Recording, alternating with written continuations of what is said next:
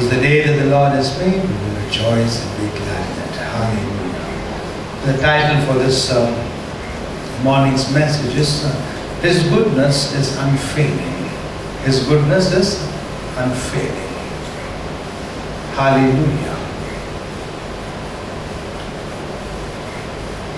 The Word of God tells us or describes His goodness as glory. The 34th chapter of Exodus, when, Mo- when Moses called out to God and said, Show me thy glory. And God answered, saying, I will send my goodness before you. So, where the glory is, the goodness of God is. Hallelujah. We'll go forward and see what this message is going to store for us. Psalms chapter 103, verses 11 and 12. Psalms chapter 103, verses 11 and 12. For as the heaven is high above the earth, so great is his mercy toward them that fear him. As far as the east is from the west, so far hath he removed our transgression from us. Let us stand and this word of God. My Father, we thank and praise you, Father, for this uh, precious word. Hallelujah. We give you the glory, Lord Jesus. Reveal to us the truth of this word and strengthen our spirit that we may live a life of dominion on this earth. In Jesus' name we pray. Amen, amen, amen. Amen.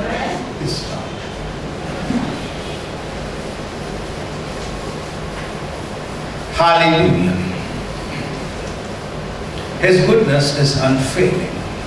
The topic title. His goodness is unfailing. In other words, His goodness is always available for us. Psalms 103, 11 and 12 says, as we read this just now, as heaven is high above the earth, so great is his mercy toward them that fear him. The one who honors him, the one who respects him, the one who walks according to God's word, and the one who fears him.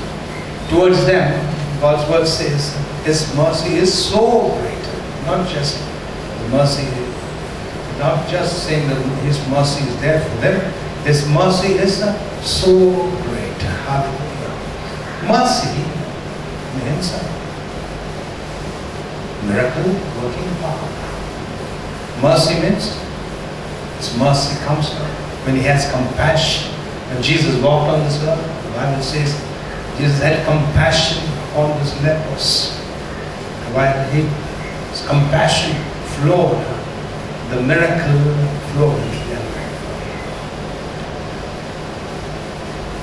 The mercy of God is upon everyone who is born again. Everyone who is born again has His mercy. That's why it says, as far as east is from the west, so far hath He removed our transgression from us. First we see the comparison of heaven and the earth. How great is His mercy as the distance between heaven and the earth, that so great is His mercy. How He has removed the transgression from us, as east is so far away from west. The transgression which He removed from us is far away, is gone, is nowhere to be seen. So, for everyone who is born again, whose sins are forgiven, upon them the mercy of God will manifest. Where there is sin, there is no mercy. Am I right? That's why the word of God says, all have sinned and have fallen short of the glory of God.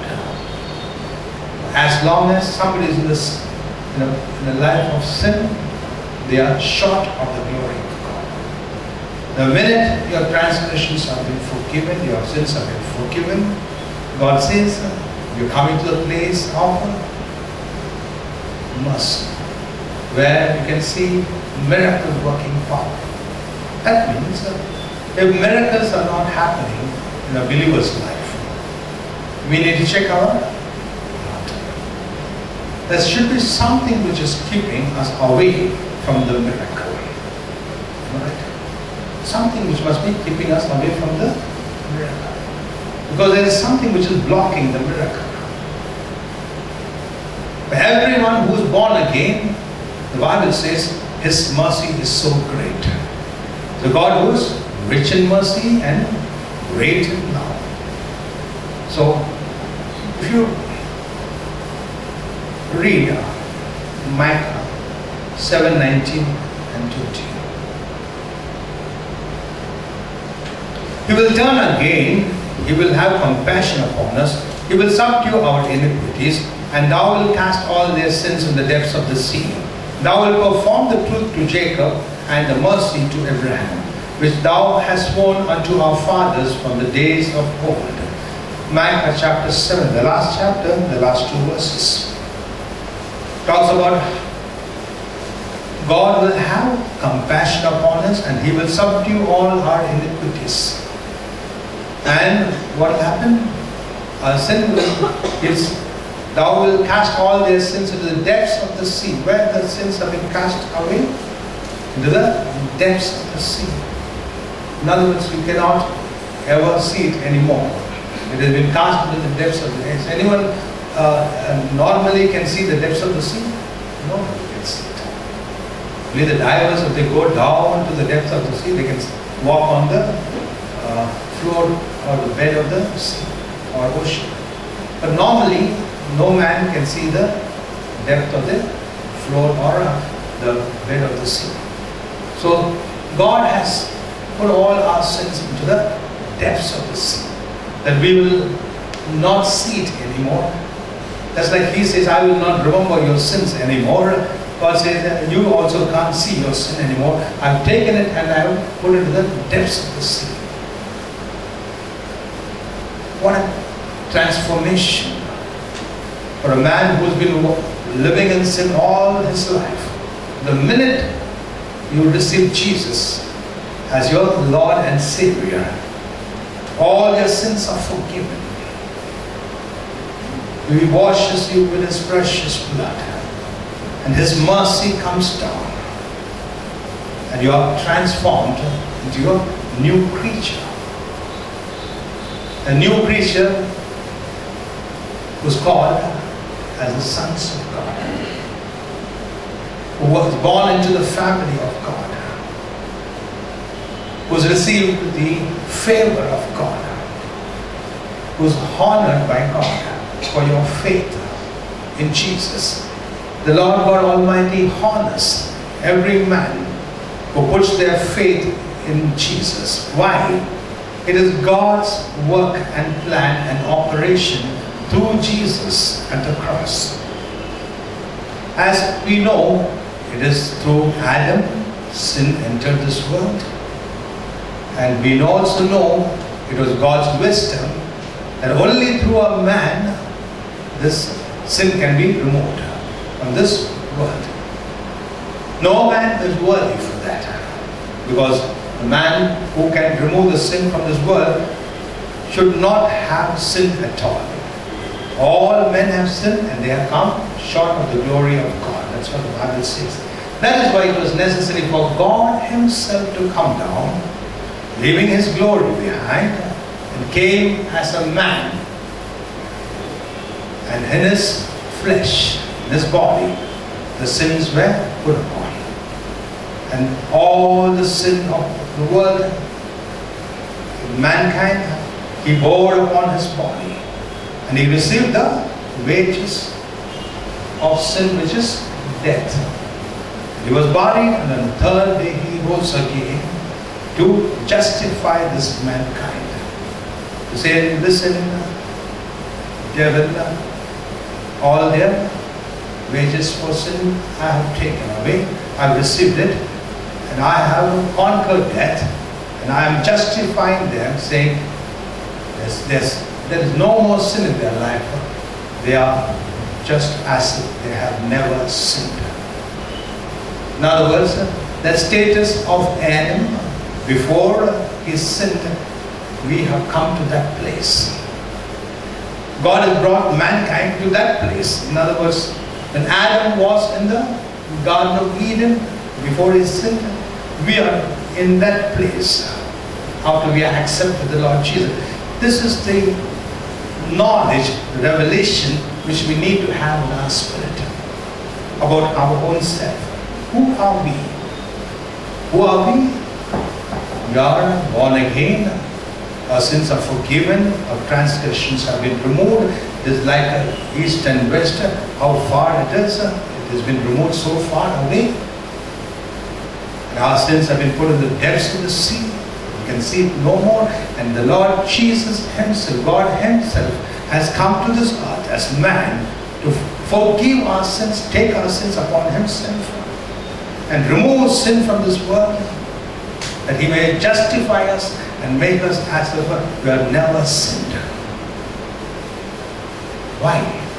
That His mercy can flow into our life. His miracle working power can flow into our life.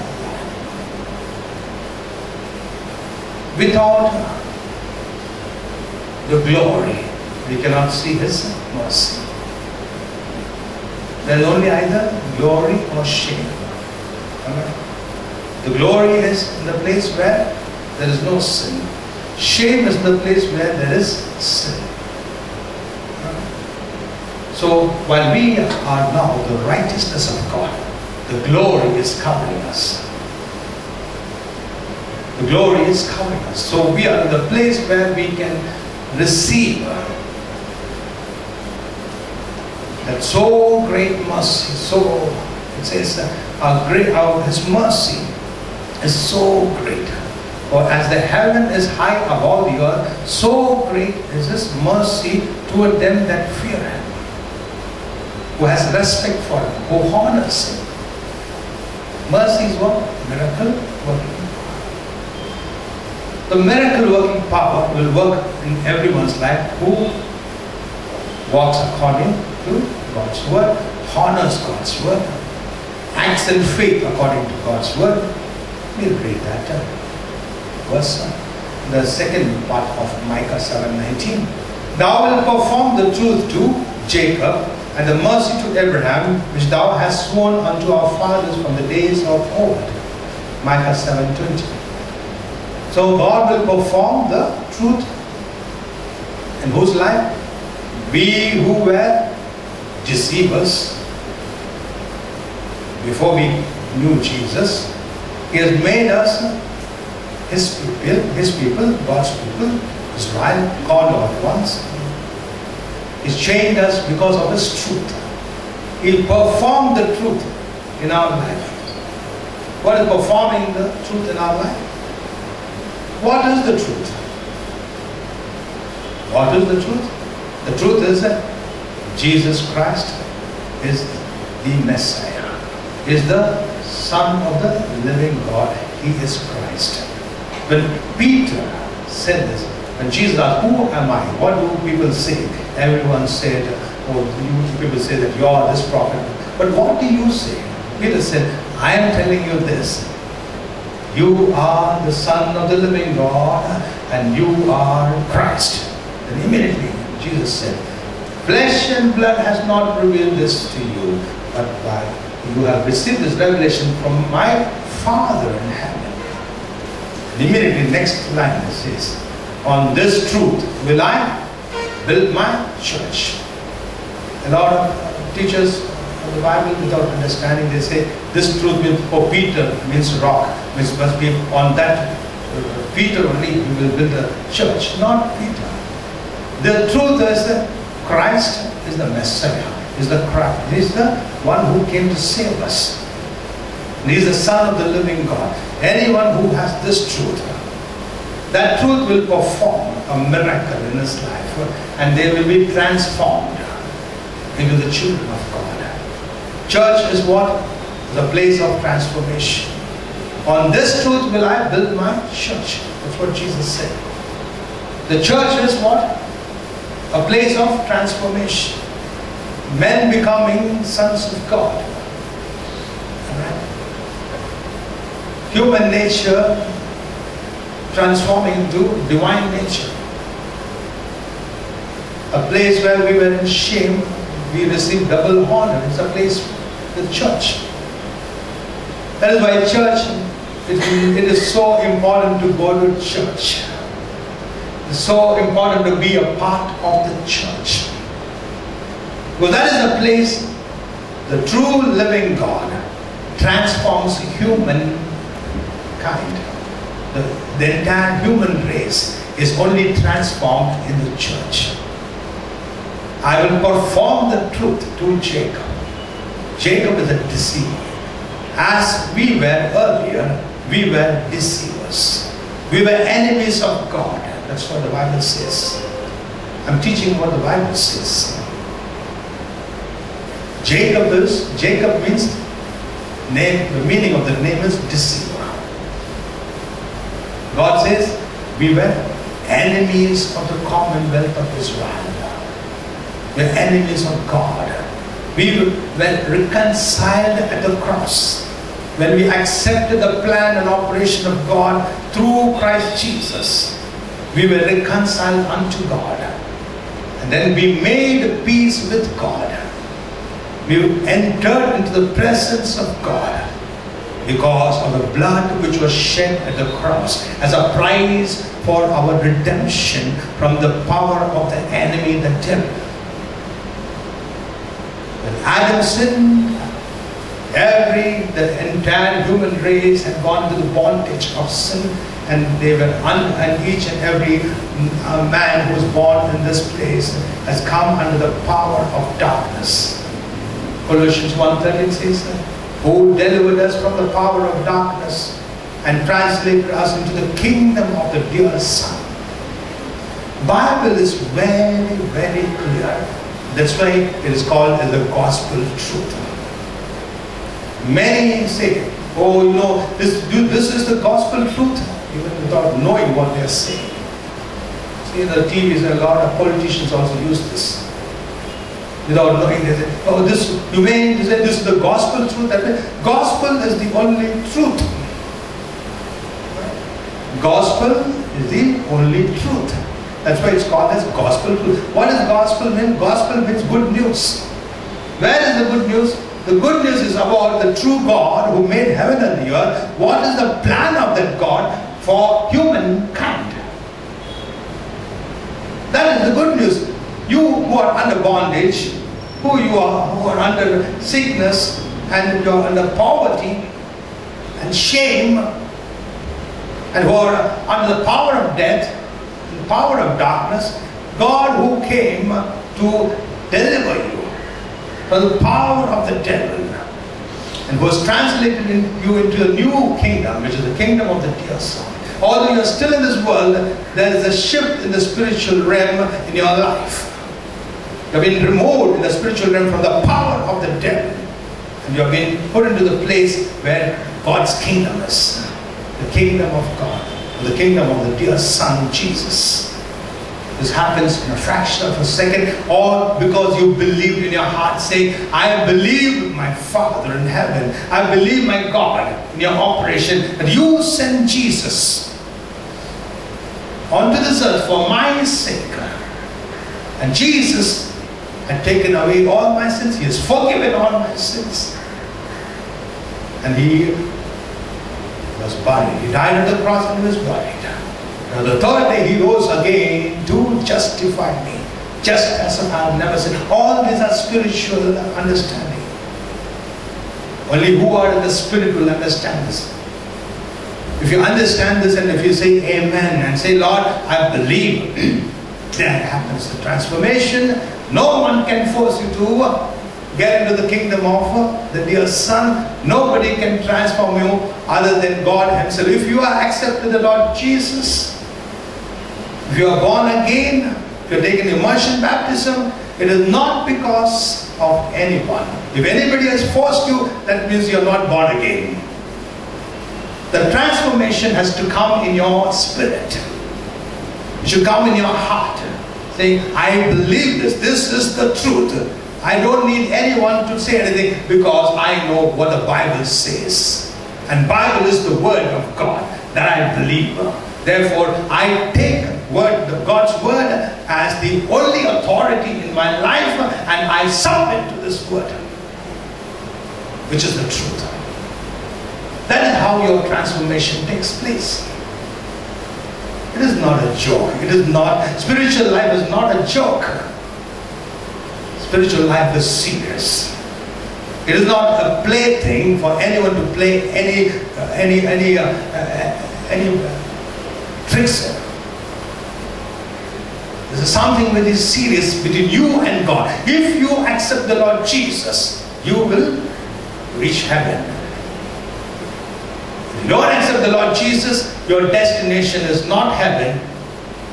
There's something else called as hell, maybe.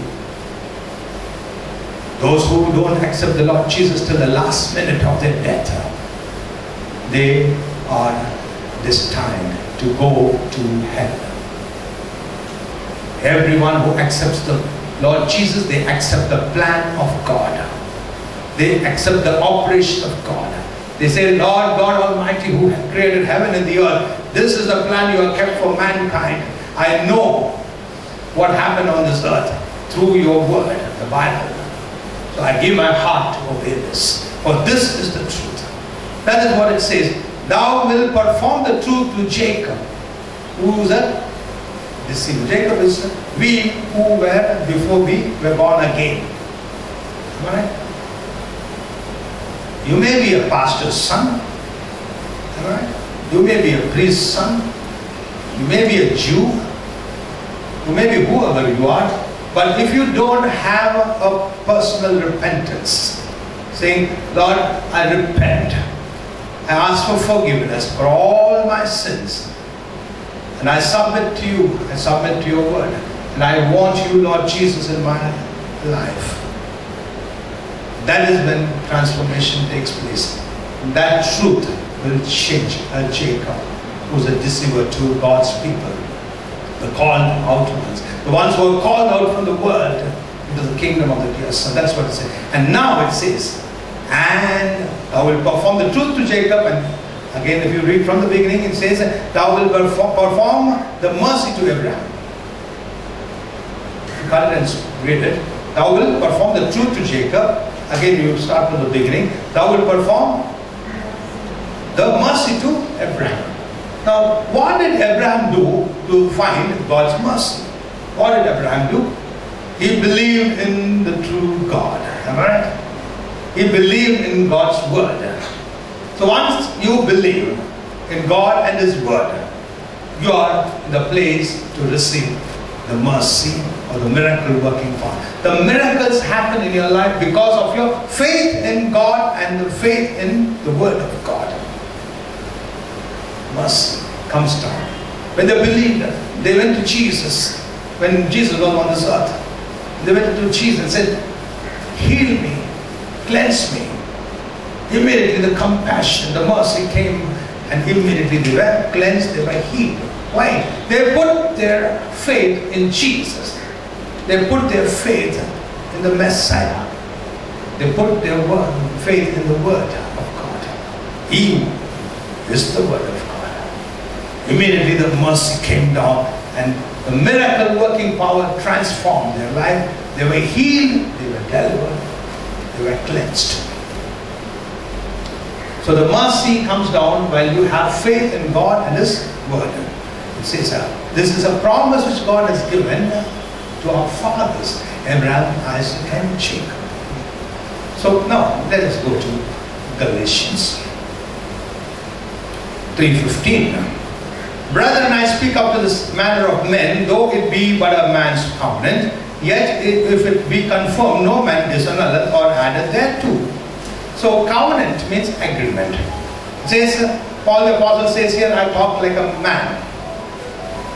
If there is an agreement which is made within two human beings on this earth, God's word says, nobody can annul that agreement, and nobody can add to the agreement, because after reading that agreement, do you sign the agreement without reading? You agree to all the terms and conditions in that agreement and you say, yes, I concur, and then you sign that. and the other party also signs it. So nobody can add or nobody can annul anything which is inside that. It will be as it is. Now, the man itself is so clear. How much more God will be clear about His covenant for us, which He made at the cross by shedding His blood. The covenant, the salvation, the five things and in so which is salvation, which is in deliverance, healing, protection, preservation, and all soundness and goodness of God in your life. All the five things has to be present in our life, which is a complete salvation. For that, what we need to do? We need to conform to the covenant. We should say, Lord, I believe your covenant. I believe the covenant which you made in my life through shedding of your blood. Nothing can be annulled in that, nothing can be added into that. But what is written, according to what it is written in the Word of God, the covenant between God and man, that will be standing as it is. Because it is sealed by the blood of Jesus. When will it come to pass in your life? The minute you accept the Lord Jesus. The Lord Jesus, the mercy of God. You're, you're, you're opening your life to the mercy of God. You're opening your life to see miracles, supernatural life. Miracles is basically supernatural life. The people of the world, when you say, oh, this happened to me, you know, if you say that to them, they say, what nonsense, this can never happen. Because they have never seen miracles. They have never seen a supernatural thing in their life. It is nothing, I mean, don't have to be surprised when they don't agree with you. Because we know that they have not seen a miracle in their life. I was like that. When I when I accepted the Lord Jesus, I saw many people's miracles, many miracles in people's life. I said, oh, this is a powerful, awesome God. There's so many miracles which are happening. I want this God in my life. I've never seen all my life such miracle. It is not because I received a miracle, because I saw the miracles. Right? How do you get faith in Jesus? When you hear testimonies, when you see oh, other people get miracles in their life and you believe that has been a power of God, there's a work of God in their life, then you get faith for your miracle.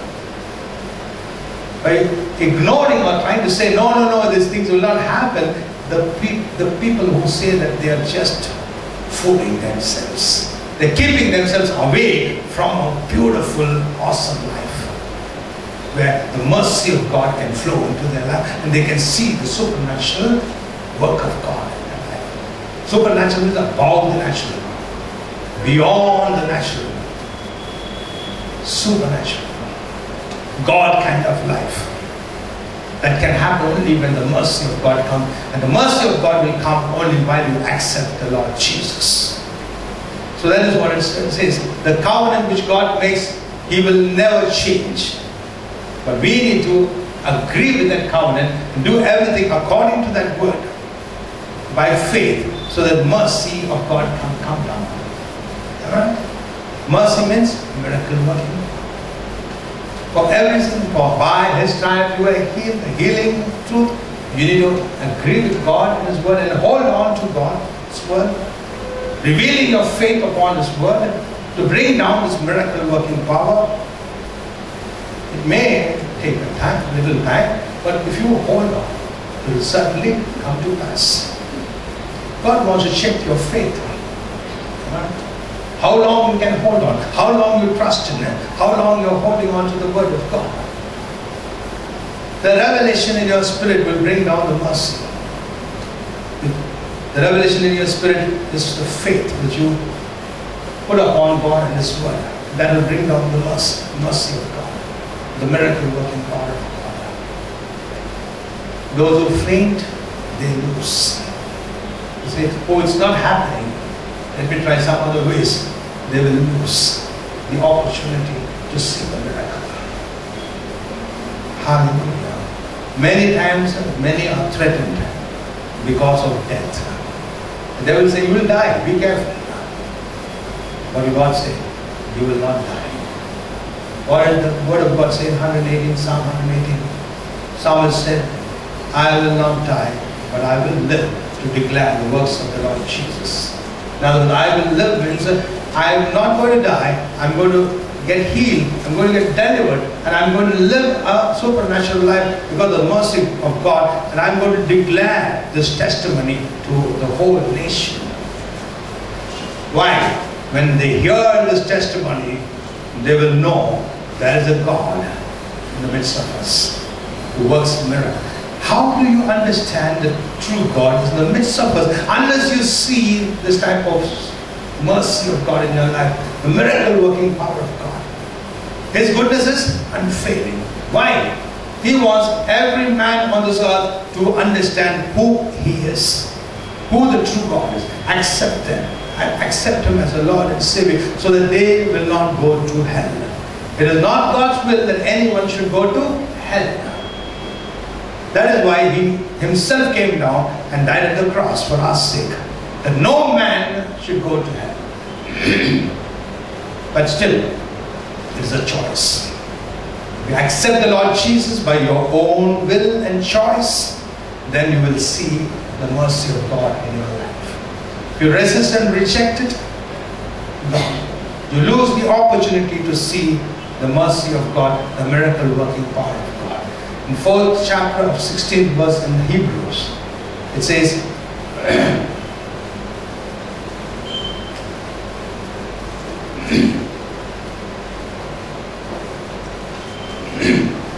Take that. Hebrews chapter 4, 16. Come boldly to the throne of grace to obtain, let us come boldly to the throne of grace to obtain mercy and to receive grace to help at the time of need. Let us come boldly to the throne of grace to obtain mercy, to receive grace, to help at the time of need. Mercy. To obtain mercy. Why do you go to the throne of grace? To obtain mercy. If you have to obtain mercy in your life, you need to go to the throne of grace. Sometimes we kneel down in prayer, the throne of God is before us. Sometimes we stand and lift our hands, we're standing before the throne of God. Sometimes you may be driving, or you may be in the kitchen, or you may be doing some other office work. But still, your heart is uh, in the presence of God. You're praying. That time, spiritually, you are before the throne of God. And God's mercy will come down. For you have come to obtain, before the throne of grace, to obtain the mercy of God. Will God say no? Anyone who comes in faith before his throne, they will obtain the mercy of God. Hallelujah. So, let us read Colossians chapter 2, verse 14. and we'll finish. Blotting out the handwriting of ordinances that was against us, which is contrary to us, and it and took it out of the way, nailing it to his cross. And having spoiled principalities powers, he made a show of them, openly triumphing over them on it, on the cross. Blotting out the handwriting of ordinances. The ordinances means there are certain laws which were supposed to operate in a person's life because of the sin or because of the things which were done, which is iniquity. Says God Himself has blotted out the handwriting of ordinances that was against us when the minute we accepted the Lord Jesus. Those things were blotted out. They were earlier standing, says, the standing against us, which was contrary to us. These things were against us and they were contrary to us. It was not the things which we want in our life. It was contrary to the things what we need in our life. We wanted blessing, But the curse was operating. We needed goodness of God, but we never received the goodness of God. There was severity, punishments coming in our life. Now God, well, you accept the Lord Jesus, He blotted out all this handwriting which is standing against us and which are contrary to us. And says, and He took it out of the way and nailing it to the cross. Took it out of our way. Means it was blocking our path.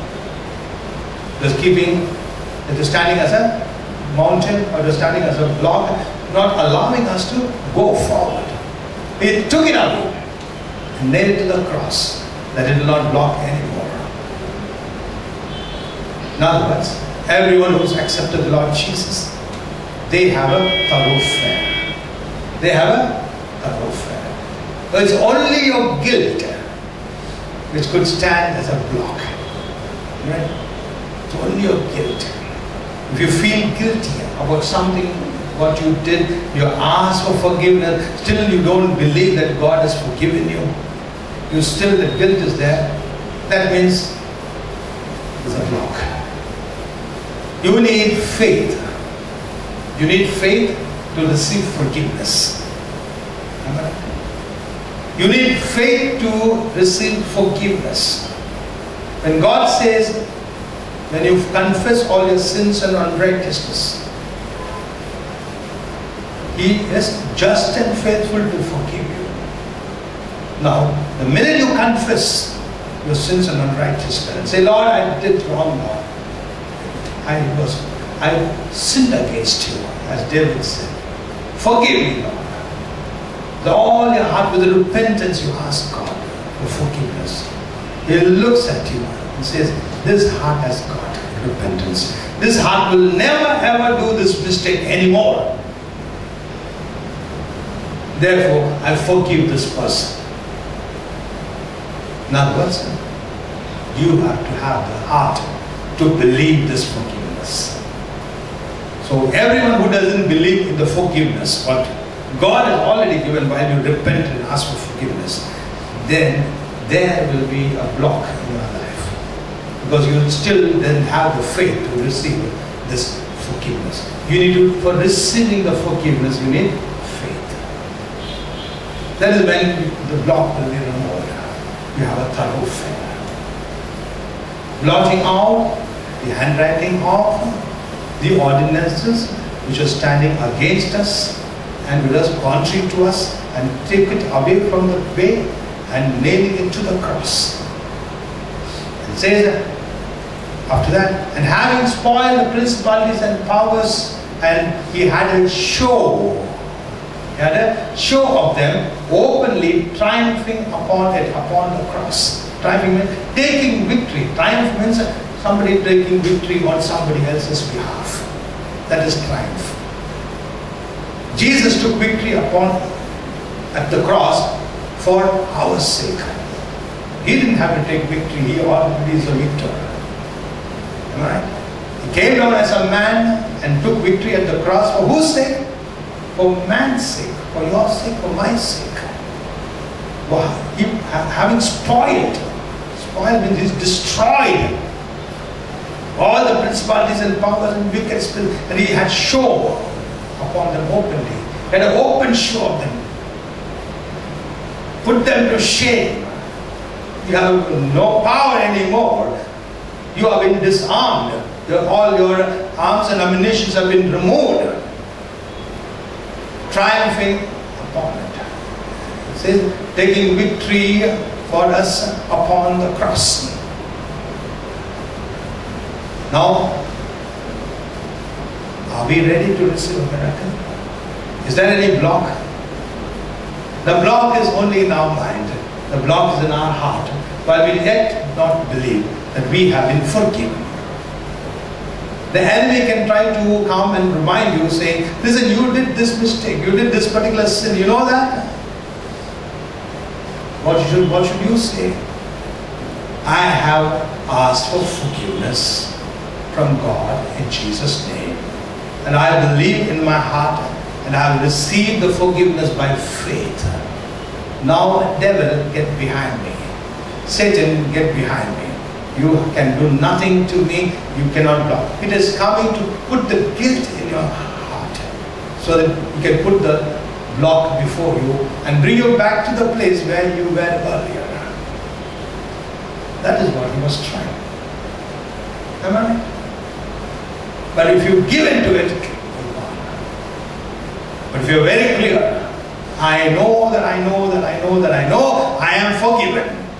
My sins are gone. I have no block before me. All the handwriting of the ordinances which were against me and which were contrary to me has been nailed to the cross. Hallelujah. He took victory for our sake. Making open show of all the principalities and powers and wicked spirits. Now we are standing victorious. No failure. All the goodness of God can flow into our life like a dam which is opened. It can flow into our life because there is no block. It's a highway. It's a highway of holiness. When you walk with the fear of God, you walk in holiness, you walk in righteousness. There cannot be any block in your life. The goodness of God will flow like a flood into your life. While you have faith in God and His Word, the mercy of God will start manifesting. As it's manifested in Abraham's life, it will manifest in our life. But what you need for a transformation is the truth. As we were deceivers earlier, we became the children of God because of our faith on the truth. Jesus is the Son of God. He's the living God. He's the Messiah. He's Christ. We believe. We believe the truth. And because we believe the truth, we have been transformed from the power of darkness into the kingdom of the dear Son. The same way, the truth that you have the truth, by his stripes you are healed. You know the grace of the Lord Jesus Christ, though he was rich, he became poor for our sake. Through his poverty, he has made us rich. When you put the faith in this word, you become rich. If you put faith in the word and say, by his stripes I'm healed, the devil will come and to go on telling you, no, no, this will not work, this will not. He said, no, no, no, it has worked already 2,000 years ago at the cross. I am healed, I am rich. Now you get behind this Satan in Jesus' name. Hallelujah. That is faith. And this faith will take you to the place, a destination of the promise, which is the goodness of God. Getting healing is the goodness of God.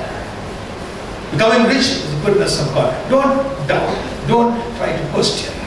You may say, I don't have anything. God can bring abundance in your life.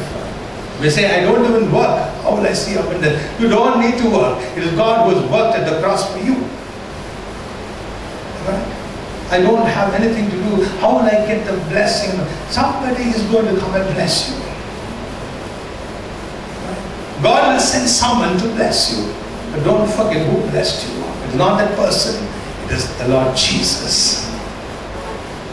You honor Him and the fear of the Lord and say, Lord, I will never, I'll never let you go from my life. I will hold on to you like Jacob held on to you and said, I will never let you go till you bless me. I'll hold you so tight and I'll continue to see the goodness of God in my life. Amen.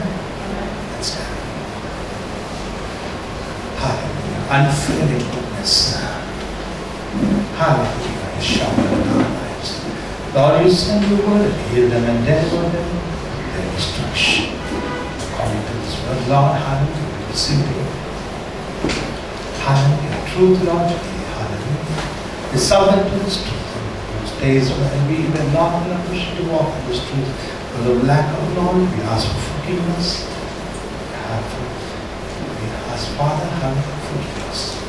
We believe you have forgiven us. You have forgiven us in Jesus' For everyone who is forgiven, cleanse them with the blood of Lord Jesus of Nazareth, blood of the and the soul, and they remain in righteousness. The Lord God Almighty, bless Jesus. We pray, Father, and bless everyone who's heard this message.